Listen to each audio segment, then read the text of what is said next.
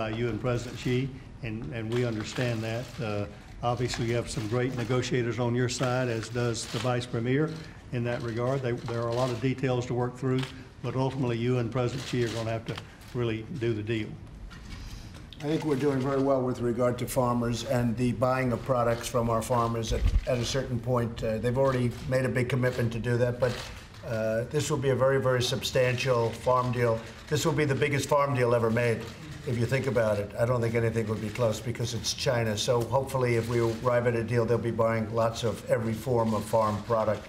Uh, Mr. Ambassador, would you say something if you'd like?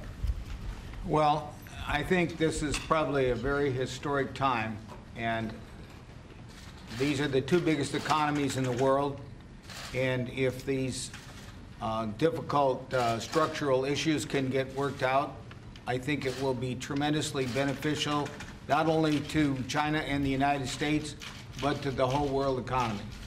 So I know people have been working very hard. We've had many, many sessions, both in Beijing and here, and I appreciate the hard work and the diligence that's going on.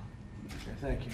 Yeah, that's going very well. Peter, would you like to say something? This is a gentleman that loves tariffs, by the way. He's like me. He and I loves tariffs, but Peter, go ahead. I agree with you, sir. Tariffs are simple and they're enforceable. Right, right, okay. That's all you have to say? Right, But it's, uh, it's true. I wish, you I wish the team luck. Good. They're doing a good job. Larry? I'll just echo, and, you know, a good deal that is enforceable, that's so important to the United States and to you.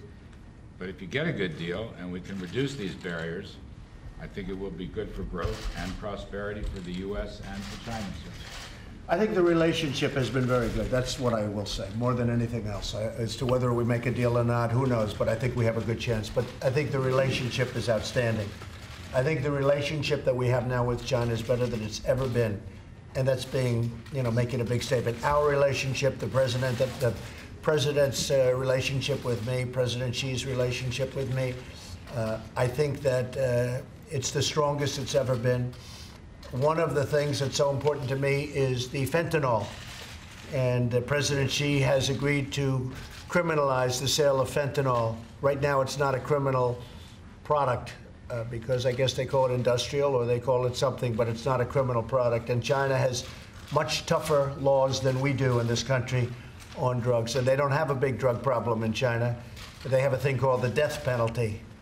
And uh, China has much tougher laws than we do, but they've agreed to criminalize the sale of fentanyl, including the sale of fentanyl to the United States. Uh, and that is a tremendous thing because, as you know, most of it, if not all of it, comes from China. That would be a tremendous thing in terms of our war on drugs. So I very much appreciate that. And that's another thing we'll be finalizing, hopefully, at the meeting that we have. So, subject to where they are, we're going to have a meeting now, but subject to where they are, we will be having at least an additional meeting, and then ultimately we'll have a meeting with myself and President Xi to discuss the final terms and things that haven't been agreed to. But I think a lot of those things have been agreed to, but they want he and I to agree to them in a final form. Uh, but the fentanyl is so important to us. The uh, criminalization of fentanyl is so important to us, and we appreciate that. Uh, I want to uh, just thank everybody for being with us. Mr. Vice Premier, I want to thank you very much. Uh, their trip is being extended, as Steve said. Their trip is being extended by two days uh, unexpectedly because they are making great progress. So they'll be here for an extra couple of days. So what would that include? That would be Sunday, Monday, or It'll be all day Saturday and all day Sunday. all day Sunday. So they'll be leaving on Sunday night and Monday morning.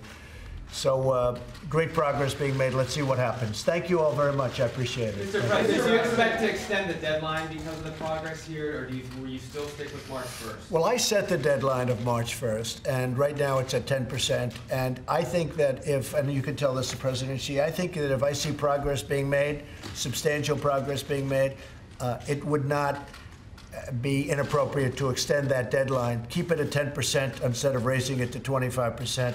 And I would be inclined to doing that. I haven't even spoken to my people about it. Most people assume it'll just kick in automatically to 25% but I'm the one that said it, and I think it was a reasonable period of time. But it, we're covering things that we didn't even know we'd be covering. We're going very deep into the trade and covering items that a lot of people wanted to cover and nobody thought would ever get to. But we have a one-time shot at making a great deal for both countries. And so we are, uh, we are going to give it. So it, it depends on where we are. If we're doing well, Jeff, if we're doing very well on the negotiation, I could see extending that. And I don't think it would have to be a long-term extension because I would imagine that uh, if it took, Steve, another month or so or, or less, Yeah, I think our expectation is to conclude this quickly, and uh, if, if we get to the point over the next few days of making progress, recommending a meeting for you and President Yeah. And- So dependent on how they do over the next few days, uh, I would uh, certainly consider that, okay? Meeting in in Mar-a-Lago, sir? He's drawing down U.S. troops at consideration. Say you're- it. He's drawing down U.S. troops at consideration. I don't understand. Is drawing down U.S. troops Yeah. a consideration in your upcoming summit with North Korea Kim Jong-un? No, it's not, no, that is not a consideration. What about- that's not- That is not one of the things on the table. What is on the table? Oh, you really want me to discuss that now? I do. Everything is on the table, everything. Mr. President, do you have any concerns about the labor secretary's handling of the Jeffrey Epstein case? I really don't know too much about it. I know he's done a great job as labor secretary, and uh, that seems like a long time ago, but I know he's, he's been a fantastic labor secretary. That's all I can really tell you about it. That's all I know about it. What about the charges against Bob Kraft? He's a, he's a friend of yours. Well, it's very sad. Uh, I was very surprised to see it. Uh, He's proclaimed his innocence totally, and, uh, but I'm very surprised to see it. Have you spoken with Bill Barr about the release of the Mueller report? Have you spoken No, with him about not. that? You've No, said I- nothing to him about it? I about have it? not. Do you expect to? At some point, I guess I'll be talking about it, but you know the nice part? There was no collusion, there was no obstruction, there was no anything, so that's the nice part. There was no phone calls, no nothing. We have a, uh, I won a race. You know why I won the race? Because I was a better candidate than she was, and had nothing to do with Russia. And everybody knows it's a hoax. It's one of the greatest hoaxes ever perpetrated on this country. So I look forward to seeing the report. If it's an honest report, it will say that. If it's not an honest report, it won't. Yeah, go ahead. On troops, You've been at this, and your teams have been at this trade deal for a long time. Yeah, well, Seems not a long time when you consider it's probably the biggest deal ever made. It seems like it's getting close to the finish line. At this point, if you boil it all down. Do you believe it's more likely that a deal does happen or a deal doesn't happen? Well, I think I can speak for the United States. Uh, the question is an interesting one. Is it more likely that a deal happens or doesn't happen? Speaking for the United States, I would say it's probably more likely that a deal does happen. But that doesn't mean it's going to happen. Um, speaking for China, if you'd like to answer that question, you can. But I would say that it's more likely that a deal will happen. Uh, the fact that they're staying, and this is a very high delegation. This is a, uh, a man who is uh, revered all throughout China as the vice premier. So the fact that they're willing to stay for um, quite a bit longer period, doubling up the time, that means something. I think there's a good chance that it happens. Go ahead. You, would you like to answer that question? Wait. Would you like to answer that question? Thank you, Mr. President. May I speak Chinese? Yes, please speak Chinese and you'll, you'll speak louder. Okay, They can't hear you. I will. 就是从中国来说呢，首先呢，我们认为发生的可能性是非常之大的。嗯，我们非常希望双方成交。嗯 So uh, from China, we believe it is that. uh, You have to speak louder, I'm sorry. From China, we believe that it is very likely that it will happen, and we hope that ultimately we'll have a deal. 嗯，中方愿意尽最大的努力。嗯， And the Chinese side is ready to make our uttermost effort. thank I think you. we both feel that way. I think we both feel that there's a very good chance that the deal will happen. Mr. President, on troops in Syria, why are you reversing course? I'm and not leaving Sunday? reversing course. Uh, I have done something that nobody else has been able to do. In another short period of time, like hours, you'll be hearing hours and days, you'll be hearing about the caliphate. It'll, it's 100% defeated. Nobody's been able to say that. That doesn't mean there aren't some very bad people walking around and strapping on bombs and all of these things, but we've done a job that nobody else has been able to do. I heard Lindsey Graham this morning congratulating me on having defeated the, you know, the caliphate, and frankly, uh, I'm getting a lot of congratulations. At the same time, we can leave a small force along with others in the force, whether it's uh, NATO troops or whoever it might be, so that it doesn't start up again. And I'm okay. It's a very small, tiny fraction of the people we have. And uh, a lot of people like that idea, and I'm open to ideas. But uh, the 2,500 people that we've had there will be going to different parts of the world. They may be going over to Iraq, where we have a very powerful base, uh, a base that cost billions of dollars to build, frankly, and that we'll be using. Uh, but we have had tremendous success in defeating the caliphate. And now everybody's admitting I did more in the last three or four weeks than people have done in years. And uh, it's been very successful. Uh, but we want to make sure it stays that way. Yes, please. Tech transfers, going back to the trade deal, we've heard that you haven't made a whole lot of process, progress on the tech transfers. Do you want to talk about the transfer Does tech? that still have to be? Yeah, part of I'll let Bob answer that. Go ahead, Bob. Yeah, the answer is yes, it's one of the structural issues, it has to be done properly, and we've made a lot of progress there. So whoever told you we weren't, just didn't know what they were talking about. Mr. President, why haven't you condemned the North, uh, the North Carolina election fraud? This is a big story. The Republican candidate is calling for a new election. Why have you not condemned that, given you've condemned other kinds of voter Well, fraud? I condemn any election fraud, and uh, when I look at what's happened in California with the votes, when I look at what happened, as you know, there was just a case where they found a million fraudulent votes. Uh, when I look at what's There happened haven't in been those Texas, cases. This is an me, actual case, Excuse sir. me. When I look at what's happened in Texas, when I look at that catastrophe that took place in Florida, where the Republican candidates kept getting less and less and less and less, unfortunately, uh, Rick Scott and Ron uh, ended up winning their election, but it was disgraceful what happened there. So I look at a lot of different places all over the country. I condemn any voter fraud of any kind, whether it's Democrat or Republican. But when you look at some of the things that happened in California, in particular, when you look at what's happened in Texas with all of those votes that they recently found were uh, not exactly properly done, I condemn all of it, and that includes North Carolina. If anything, you know, I guess they're going to be doing a final report, but I'd like to see the final report. But any form of election fraud, I condemn. Mr. Mr. President, President, when do you want to have that meeting with President Xi, and do you expect to have that in Mar-a-Lago? Uh, probably at Mar-a-Lago, probably fairly soon, during the month of March. Bob, do you have a, a date? Steve, do you have a date? We're, we're planning it with your schedule. Mr. Okay, so there, we have two schedules, and we'll be planning that with the schedule. Do you have any concerns about Michael Cohen's testimony before No, Congress this no, week? no. Mr. President, are you still considering? Lawyer client, but, uh, you know, he's taking his own chances. Where do things stand with Huawei and ZTE? Would you still consider a ban? of- Well, ZTE paid a big fine of $1.2 billion, which uh, nobody's ever even heard of before. And uh, we want everybody to compete. And I guess it'll be somewhat of a subject that we're talking about here, Bob. We'll be talking about it. We may or may not include that in this deal, Include what? Would you drop uh, the? Huawei and ZTE. Would you drop criminal charges against Huawei? Uh. We're going to be discussing all of that during the course of the next couple of weeks, and we'll be talking to the U.S. attorneys, we'll be talking to the Attorney General, uh, but we'll be making that decision. Right now, it's not something that we're discussing. Do you think that the congressional Republicans will stick with you on the, uh, on your emergency declaration and vote against Oh, I think they'll stick, yeah. Everybody knows we need border security, we need a wall. I think it's a very bad subject for the Democrats. Uh, We need a wall. We've apprehended more people than we have in many, many years. Apprehended, meaning we've gotten, with the wall, we wouldn't even have to apprehend them if we had the proper structure. It's costing us a lot of money with the military. We have a lot of military there. We have tremendous border control and border security there. We have, I'll tell you what, the people of border security, uh, people of ICE, the law enforcement, generally speaking, have done an incredible job at the border. We have caravans heading up, and we're able to head out the caravans. We've done a great job.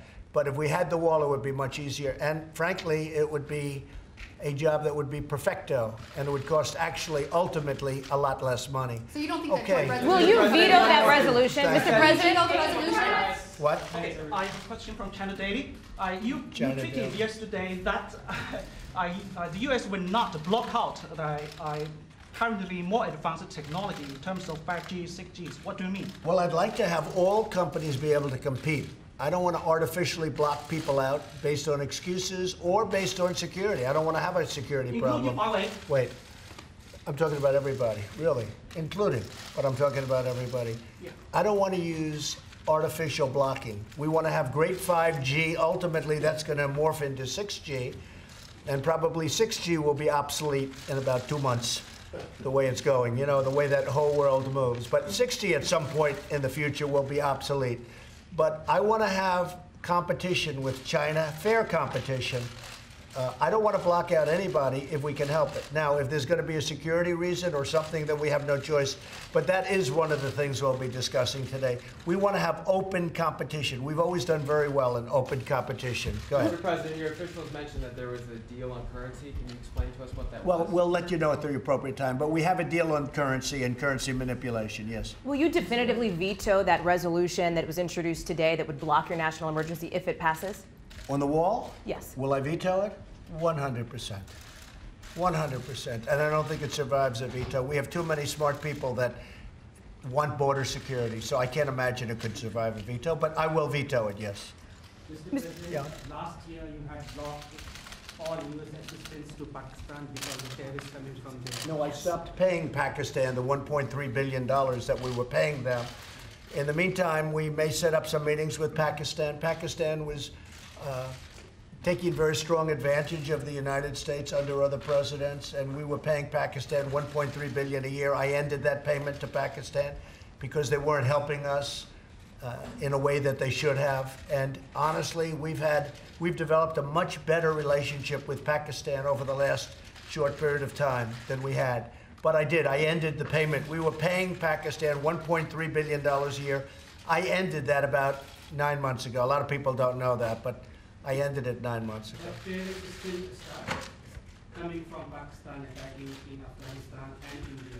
U.S. forces in Afghanistan and India. But what are you talking about? What are you What are you trying to refer to? You have to speak up. I can't hear you. uh, Terrorists coming from Pakistan Yeah. attacked Indian forces in Kashmir. That's right. No, it's a terrible thing going on right now between Pakistan and India is a very, very bad situation, and it's a very dangerous situation between the two countries. And we would like to see it stop. A lot of people were just killed, and uh, we want to see it stopped. We're very much involved in that, yes, if that's what you're referring People in to. India are seeking right. No, India is looking at something very strong. And I mean, India just lost almost 50 people and with an attack. So I can understand that also. But uh, we're talking, and a lot of people are talking, but it is a very, very uh, delicate balance going on. Right now, there's a lot of problems between India and Pakistan because of what just happened. Mr. In President. Kashmir. Are you talking about Kashmir? Yeah. In Kashmir, it's very dangerous. Yes, please. Mr. President, when Wait. On Huawei, sir, just one quick follow-up. Are you planning an executive order on Huawei? Well, we're not doing anything right now. We may or may not put that in the trade agreement. We may be discussing it, but we'd only do that uh, in conjunction with the Attorney General of the United States because that is a, uh, a matter that is outside of what we're doing.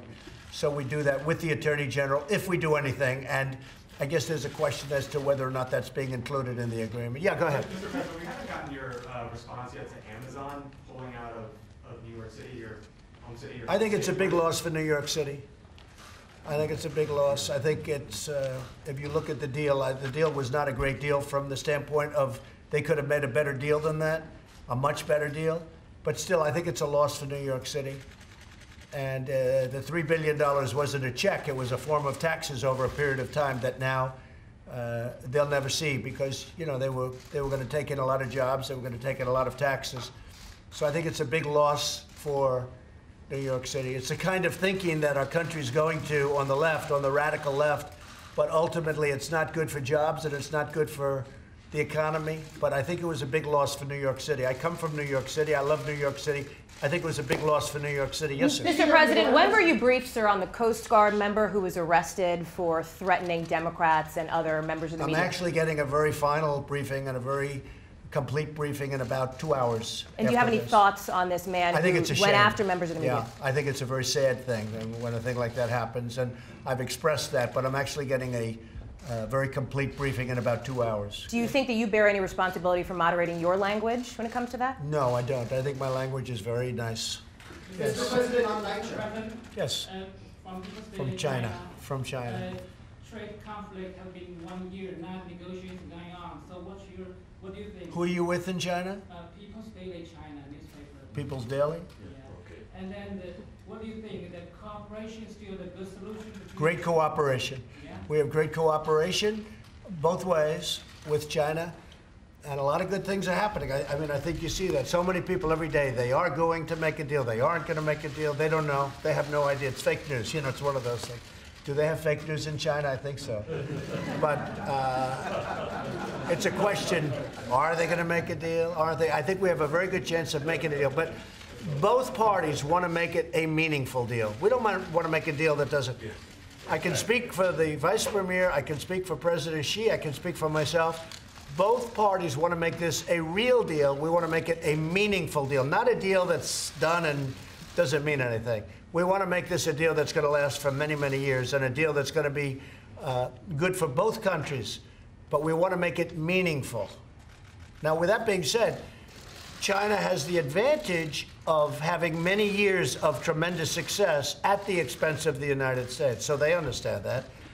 And I never blamed China for that. I blamed our past leaders. Our leaders have done a lousy job with trade. Our country lost 800 billion last year with trade generally, 800 billion dollars. So the vice premier understands that. So uh, this same agreement should have been made 20 years ago, not now because for 20 years the United States has been really uh, taken advantage of. And I'm not blaming China. We should have done the same thing to them, but we didn't do that. We had presidents that didn't do their job. You want to know the truth? We had presidents that did not do their job. Yeah, go. Will the MOUs be a long-term deal? How long do you, would your MOUs stay? I, I think the MOU is going to be very short term. No, I, we expect to go into. I don't like MOUs because they don't mean anything. To me, they don't mean anything. I think you're better off just going into a document. I was never, uh, never a fan of an MOU. So an MOU is a contract. It's the way trade agreements are generally used. People refer to it like it's a term sheet. It's not a term sheet. It's an actual contract between the two parties. A memorandum of understanding is a binding agreement between two people. And that's what we're talking about. It's detailed. It covers everything uh, in, in, in great detail. It's just called a, a memorandum of understanding. It's a legal term. It's a contract. And would you think that that would be a very long-term deal, sir? Yes, yes, I think, yes. Contracts last while they last. There's no term. They last while they last. Mr. President, on North Korea. By the Korea, way, I disagree. I think that a memorandum of understanding is not a contract uh, to the extent that we want. We're going to have, we're doing a memorandum of understanding that will be put into a final contract, I assume. But to me, the final contract is really the thing, Bob, and I think you mean that too, is really the thing that means something. A memorandum of understanding is exactly that. It's a memorandum of what our understanding is. But to me, the contract is, uh, the real question is, Bob, so we do a memorandum of understanding, which frankly, you could do or not do. I don't care if you do it or not. To me, it doesn't mean very much. But if you do a memorandum, of- how long will it take to put that into a final binding contract? What, from now on, we're not using the word memorandum of understanding anymore. We're going to use the, the, the term trade agreement, all right? Okay. Right. No more. We'll never use the term Good. agreement. We'll have the same document. It's going to be called a trade agreement. We're never going to use MOU again. Are they going to put that into another agreement? It'll, what we'll have will be a trade agreement that if, the- if we, uh, plus, I have, we have major hurdles. I don't want to put the cart in front of the horse. Assuming you decide on an agreement, it'll be signed by the two people. It'll be a trade agreement between the United States Good. and China. We're not going to use it. I like that much better. I like that term much Agree better. with that? Yes. I I don't, I wouldn't go into a memorandum, I would go right into a trade agreement. Either you're gonna make a deal or you're not. To have these other agreements doesn't mean anything. using that word again. Because they're not that meaningful, in my opinion. But anyway, I like that much better. Mr. President, what do you think needs to be done after your meeting with Lynn Patton on Rancho? One what? Uh, You had a meeting with Lynn Patton on the New York City Housing Yeah, Lynn Patton is great, and I can tell you, the New York City Housing Authority, the mayor of New York, has done a terrible job with public housing. We're trying to help them, but the mayor of the city of New York has done a terrible job with respect to public housing. We're getting reports back, and it's a disgrace how badly New York City handles its public housing. On North Korea, heading sir? Iowa, Go ahead. Blasio. Uh, Go ahead. Oh, Do do you have- do you have any um, thoughts on Bill de Blasio heading to Well, I think he has to learn how to run New York City before he starts running the country, because he hasn't done a very good job. On North Korea, your own, Including, by the way, with Amazon. on North Korea, your own administration officials say that Kim Jong Un has not actually decided yet whether he wants to denuclearize. So how can you meet with him if he doesn't even want to get the goal We that have want had to get? such a great relationship, and China has helped us a lot with North Korea, with Kim Jong Un since I got to office. If I were not elected president, you would have been in a war with North Korea. We now have a situation where the relationships are good, where there's been no nuclear testing, no missiles, no rockets. We got our hostages back. Uh, we have many of the remains back and coming back rapidly. The remains of our great warriors from many, many years ago, and the families are so thrilled and so happy. Uh, we've had a great relationship. Uh, the Singapore was a tremendous success. Only the fake news likes to portray it otherwise. We would have gone, we would have been, we would have literally been in a war with North Korea, in my opinion, had I not been elected. Okay, thank you very much, everybody. Sir, your own officials say North Korea is not doing what you want them to, sir. Thank you. We'll see how it goes. I think it'll be successful. Do you think Steve King should run again? Should Steve King? I, I, you have to speak up. I'm, I'm trying. It's, uh, do you think Steve King should run again for Congress? He said he'd run. You know, I don't know anything about the situation. When did he announce that? So today, he said he I wanted to have not again. seen it. He hasn't told me anything, so we'll, we'll have to take a look. Are you still in touch with him? I haven't spoken to him in a long time now. I haven't spoken. I have not been involved in that. Thank you very much, everybody. Thank you, Mr. President. Thanks, guys. He couldn't hear me.